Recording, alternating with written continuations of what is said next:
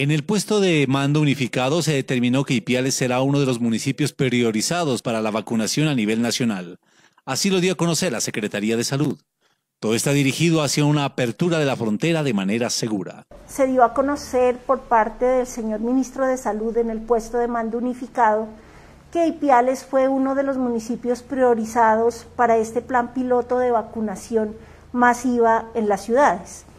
Mm, ¿Cuáles son las, las reglas de, de, estos planes pilotos? Es que se trate de población del 40% de la cabecera municipal y que esta población sea mayor de 18 años.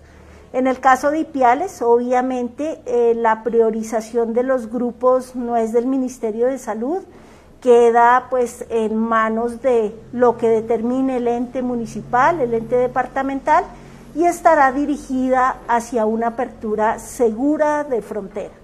De acuerdo a planeación, se tiene estipulado aproximadamente el día jueves y viernes que se estará iniciando con el programa de vacunación para las personas que sean priorizadas dentro de este proceso de apertura de zona de frontera. Tenemos una fecha tentativa entre jueves y viernes.